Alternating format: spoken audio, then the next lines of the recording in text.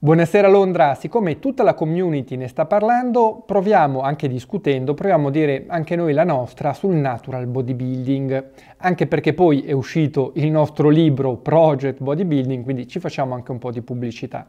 Quindi proviamo a vedere se esiste, se è una chimera, un prenderci in giro e soprattutto uno natural, secondo noi, che cosa dovrebbe fare.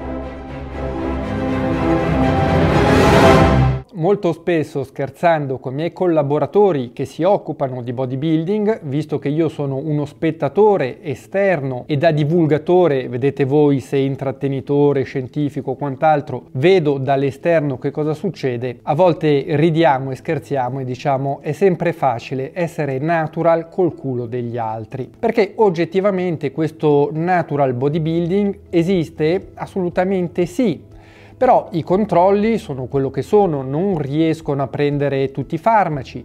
Tanti atleti magari si erano dopati anni prima e poi si ripresentano in una nuova veste natural, quindi ci sono sempre sempre dei paletti, però oggettivamente ci sono tanti ragazzi che ci credono, ci provano, magari non si piazzano sul podio, chi se ne frega, alla fine gareggiano per se stessi. Ecco, secondo me uno oggi con i mezzi che abbiamo a disposizione, se vuole delle soddisfazioni nel natural bodybuilding, le deve avere verso se stesso, non deve aspettarsi adesso vado e faccio chissà che cosa, poi se c'ha la genetica, un buon allenatore magari ci arriva anche, assolutamente, però ricordiamoci sempre che è facile essere natural col culo degli altri. Detto questo, eh, secondo me, guardandolo dall'esterno, a livello scientifico, il bodybuilding ha fatto dei grossi passi avanti negli ultimi anni. Non è vero che, oh, si sapeva già prima, c'era già tutto. Mm, assolutamente no,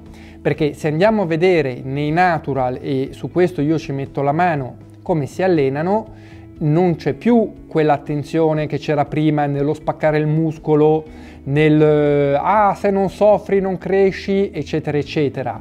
C'è tanta gente da natural che fa così e fa bene perché ha un'ottima autoregolazione, riesce a portarsi al limite, ma anche quando l'organismo non riesce in realtà poi a spingere ha un freno e quindi non fa mai, tra virgolette, il botto però non sono in tantissimi, anche se poi ci sono.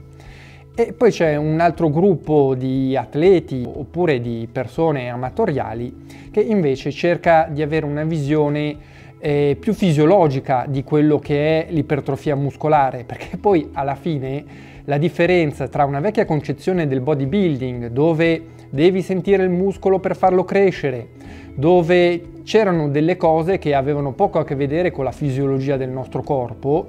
Oggi quello che vediamo è che il nuovo natural bodybuilding in realtà rientra molto nella periodizzazione sportiva che avviene negli altri sport. Cioè, nel senso, si è iniziato a vedere che è vero che la performance è l'aumento del muscolo, ma l'aumento del muscolo avviene indirettamente per l'aumento di altri parametri. Cioè non basta andare lì a caso e sollevare un peso, perché sicuramente ottieni di più che startene a casa. E sicuramente se hai un'ottima genetica ti porti a casa sempre i tuoi bei risultati. Ma è anche vero che se sei nella media, programmare è sempre meglio che non programmare. E d'altronde ci avevano provato anche prima. Il problema è che in tutti i tempi passati, ogni volta che si inventava qualcosa bisognava brevettarla, bisognava metterci il proprio sigillo, questo è il mio sistema, questo è il mio metodo, questo... cioè ecco, mh, era più un'operazione poi commerciale che una reale apertura a un'innovazione che come tutte le cose viene confrontata e viene sistemata. Quindi guai a dire all'inventore di un metodo che magari a fare così può andare bene, ma se fai cos'ha va ancora meglio. Ecco, invece devo dire che oggi, soprattutto oltreoceano, c'è una gran voglia di condivisione senza per forza mettere il proprio marchio, senza per, per forza dire questo l'ho inventato io. Ecco, mh, mm, ognuno prova, mette le sue conoscenze a disposizione, un po' come facciamo noi, e le persone testano. E sul testare, secondo me, è stato il grosso salto che ha fatto il natural bodybuilding in America. Perché almeno se incominciamo a prendere due misure, non è che stiamo facendo chissà che cosa, però eh, sia quanto fai con gli esercizi, quant- con 8 ripetizioni, quanto fai di panca, ok, questo 8 ripetizioni di panca deve crescere nel tempo, possono essere le trazioni, possono essere i manubri, può essere un macchinario, ma il carico nel tempo deve crescere, ok, la tua capacità di sopportare il lavoro e i recuperi deve crescere nel tempo, se su questi siamo tutti d'accordo, dobbiamo semplicemente trovare la miglior strada per arrivare prima al risultato. Perché se tu ti alleni anche a caso, nel tempo un po' di forza la metti, di capacità di sopportare il volume, di aumentare la densità, perché l'allenamento qualche risposta la dà sempre. Fare le cose con logica è sempre meglio che fare le cose a caso. Ecco, questa secondo me è la grossa differenza che ha mostrato che la multifrequenza dava nei natural più risultati e non lo dice un caso perché ci sarà sempre la persona che in monofrequenza cresce di più in multifrequenza, però se andiamo a vedere statisticamente le persone, la multifrequenza dà di più, anche perché la fisiologia, e finché uno non lo dimostra è quella, dice che la sintesi proteica perdura dopo l'allenamento, a prescindere dall'allenamento, 48-72 ore. Dopo 72 ore possiamo aver fatto l'allenamento che vogliamo, ma la sintesi proteica aumentata grazie all'allenamento non c'è più, quindi allenarsi in multifrequenza è sicuramente più vantaggioso. Il cedimento è un, altro dei grandi miti, che se non arrivi a cedimento non cresci, ma non è vero. Se arrivi a cedimento cresci di sicuro, però il cedimento va a incidere sul recupero e quindi è una coperta corta. Ma dall'altra parte tantissimi atleti che abbiamo portato anche quest'anno non arrivano a cedimento, perché migliorano in tutti i parametri senza arrivare a cedimento. Anche quella è una strada. Quindi come dire, si sono aperte sicuramente delle porte e si sono iniziati a dare gli strumenti che abbiamo messo in Project Bodybuilding, mi faccio un po' di pubblicità, si sono iniziati a dare degli strumenti alle persone per avere i mezzi per potersi testare, perché se no uno dice come faccio, ma se faccio lo stripping, ma se passo dalla panca alla chest press, come cambiano i parametri? Ecco, allora nella semplicità si cercano di migliorare le cose e questo invece molto spesso eh, l'antro del doping è devi soffrire, eh, ti devi spaccare, eh, no, contano determinati alimenti, conta il timing, ecco, contano tutte le cose ininfluenti. Perché poi andiamo a vedere i risultati sul campo, noi abbiamo tantissime persone che si semplificano la vita, si fanno poche seghe mentali e poi i risultati li portano a casa lo stesso. Quindi se si facevano le seghe mentali, ok, avrebbero avuto lo stesso risultato perché abbiamo testato sia in un modo sia nell'altro, visto che più o meno tutte le persone che si allenano da un po' in Italia hanno ancora l'imprinting di un bodybuilding che di natural ha ben poco.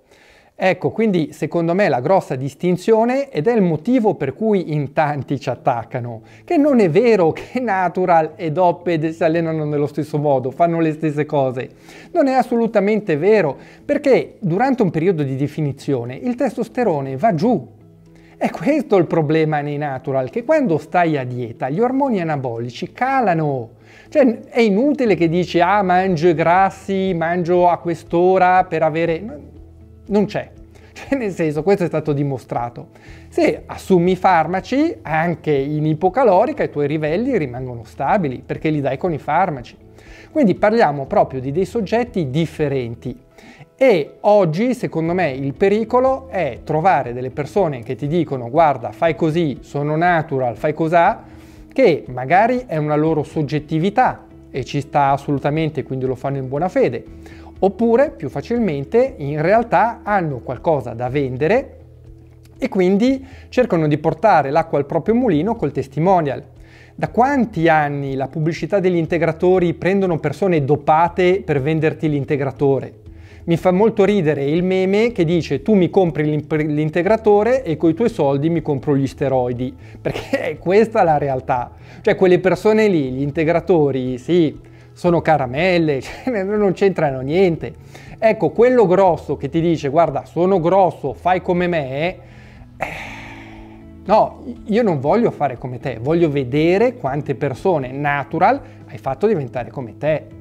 Perché se sei te l'unico a essere grosso, o se sento puzza di doping in tutti i prima e dopo, eh, insomma, c'è qualcosa che non va se io voglio rimanere natural.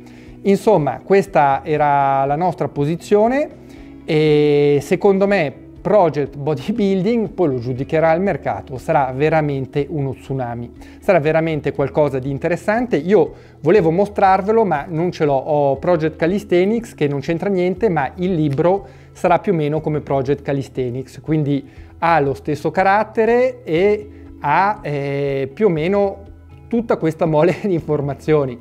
Sono 500 pagine, quasi 500 pagine, carattere 10, con tutto quello che nel pratico noi abbiamo visto in questi ultimi sei anni funzionare.